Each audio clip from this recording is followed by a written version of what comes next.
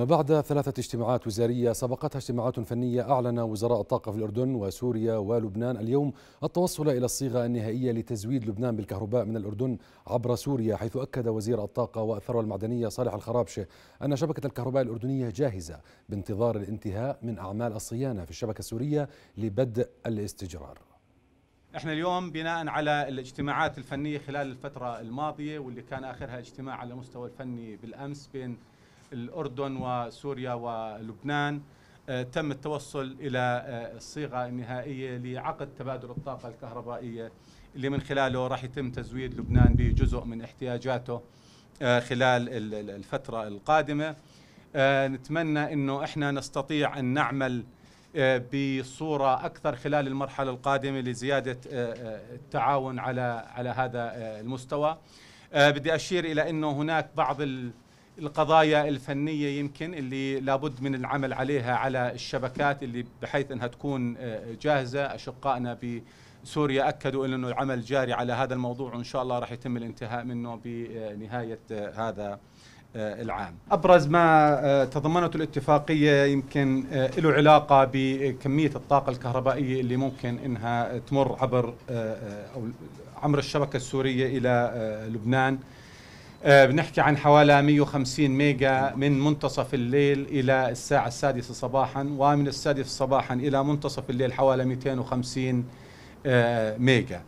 آه، ولها علاقة بقضايا فنية أخرى فيما يتعلق بموضوع الفاقد وكيفية معالجته وموضوع كلف العبور والكلف الأخرى.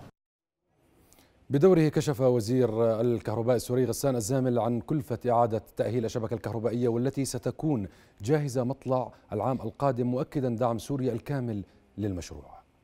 بدأنا بإعادة تأهيل خط الربط ما بين سوريا والأردن وبتكلفة بحدود 5.5 مليون دولار. طبعا آه، نحن آه،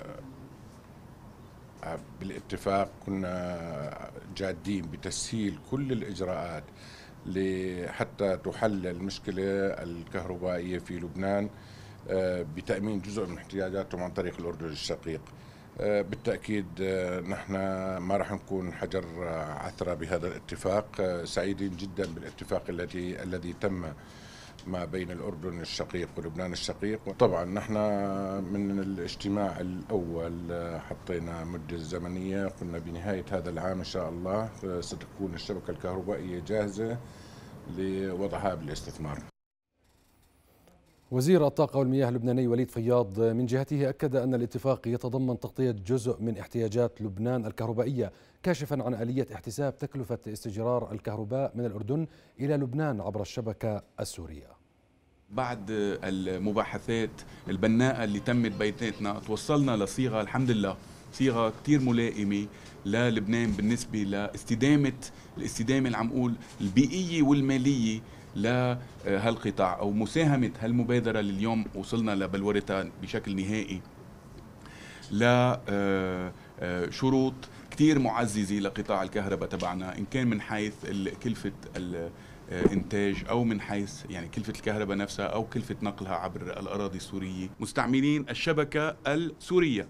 فكلفة الشبكة بتنضاف وبتتمن بكمية كهرباء إضافية بتستفيد منها سوريا. أما لبنان فبيحاسب آه، على أساس آه، كلفة الكهرباء كلها إن كان الكهرباء اللي بتيجي على لبنان أو الكهرباء اللي بتروح لسوريا. هيدي هي الصيغة اللي من خلالها رح نعمل هالعقد عقدين. هو طبعا البنك الدولي كان حاضر بالاجتماع ولذلك نحن عنا آه، موافقة من البنك الدولي على هذا البرنامج.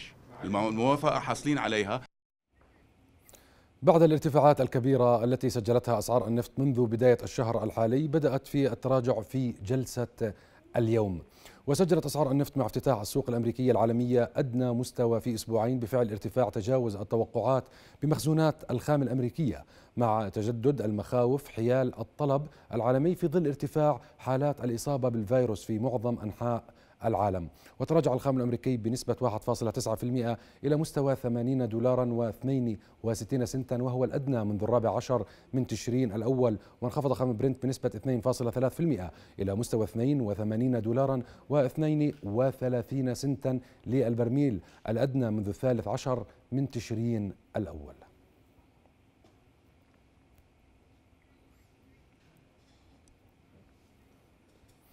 ما بين توقعات المواطنين برفع أسعار بيع المحروقات لشهر تشرين الثاني المقبل وبين آمال المواطنين بأن تتخذ الحكومة قرارا لصالح المواطن بتحمل جزء من الارتفاع الكبير في أسعار النفط عالميا حتى لا تنعكس محليا خاصة مع اقتراب الشتاء. يبقى القرار للحكومة حيث من المنتظر صدور القرار يوم السبت المقبل.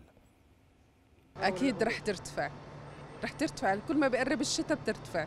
أكيد راح ترتفع. في شيء في البلد بنزل؟ ترتفع بس هي لازم تنزل. على وضع البلد لازم تنزل. راح ترتفع.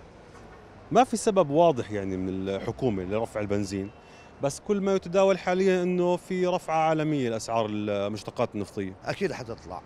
نعم. السبب انها ارتفاع عالمي هي حتكون. رح ترتفع وهي مشكلة يعني الله يسترنا إحنا طلاب الجامعات واللي بنشتغل وحالتنا حالة. هلا هم حكوا إنها رح ترتفع آه، بس آه، أتوقع إذا أثرت الحكومة يعني على الموضوع إنه ما ترتفع إن شاء الله إنها ما ترتفع يعني. لا أتوقع راح ترتفع ودائما على وجه الشتاء دائما الله يجزيهم الخير بيرفعوها رفعه محترمة. بده يرفع وقلت آه ولا لا؟ إذا نفى رفع وإذا شو ما بدهم يسووا خلص المواطن أكثر من هيك ما عاد يعني. التقارير اللي بيقولوها قبل فترة وصار في حكي إنه راح يصير ارتفاع كبير. أتوقع أنها ترتفع ارتفاع يعني ما صارش في تاريخ الأردن يعني من فترة. لأنه عالميا خام برنت ارتفع. طبعا راح تطلع. لأنه حكوا فيها من بداية الشهر يعني. أتوقع إنها تضلها ثابتة يعني. يعني ما في مجال إنها تزيد كمان يعني. إن شاء الله تظل زي ما هي. إن شاء الله تظل زي ما هي. يعني إحنا آه، زي ما هي ويا دوب آه، سالكوا الأمور. أكيد راح يرتفعوا لأنه فيش شيء يفش شغلهم بالمواطن إلا من من خلال آه، رفع أسعار النفط. كل شهر أو شهر ونص لازم يعملوا لها تعديل يعني. يا يزيدوا عليها يا يا أما إنه ترجع للمواطن المخفض يعني ما في نهائيا. انخفاض غير مسبوق في تدفق المهاجرين إلى سوق العمل في دول منظمة التعاون والتنمية الاقتصادية سجل في العام 2020 بحسب تقرير دولي. التقرير قال إنه مع وصول ثلاثة ملايين وسبعمائة ألف شخص إلى 25 دولة. عضوا في المنظمة فإن هجرة العاملين تراجعت أكثر من 30% لتسجل العام الماضي أدنى مستوى منذ 2003 وأشار التقرير إلى أن الجائحة أدت إلى إنهاء عشر سنوات من التحسن بالنسبة إلى المهاجرين في سوق العمل. الولايات المتحدة التي ما زالت الدولة الرائدة للهجرة سجلت انخفاضا بنسبة 44% إذ استقبلت 576 ألف وافد جديد في عام 2020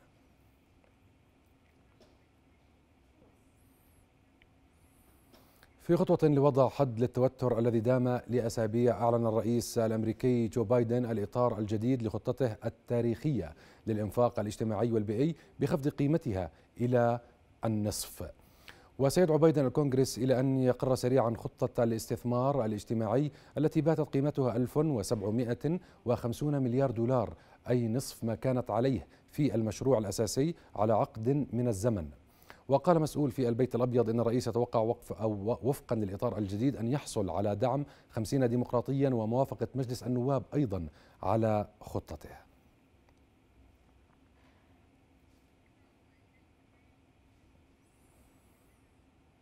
الخلاف بين فرنسا ولندن حول إجراءات منح التراخيص لمراكب الصيد التابعة لدول الاتحاد الأوروبي والراغبة في الصيد في المياه البريطانية بعد بريكزيت وصل إلى مسار جديد. فرنسا أعلنت أنها ستكثف إجراءات التفتيش الجمركي وتعرقل التجارة مع بريطانيا اعتبارا من الثاني من تشرين الثاني المقبل في حال عدم موافقة لندن على منح مزيد من التراخيص لصيادي أسماك فرنسيين ليتمكنوا من الصيد في مياه المملكة المتحدة.